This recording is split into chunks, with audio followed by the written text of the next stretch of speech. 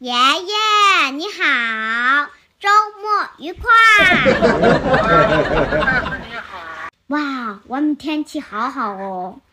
爷爷，我们去公园玩吧。你自己去玩吧。哎呦，爷爷去嘛，我自己去很危险的呀。要是被坏人给抓走了怎么办？啊，你爸爸妈妈呢？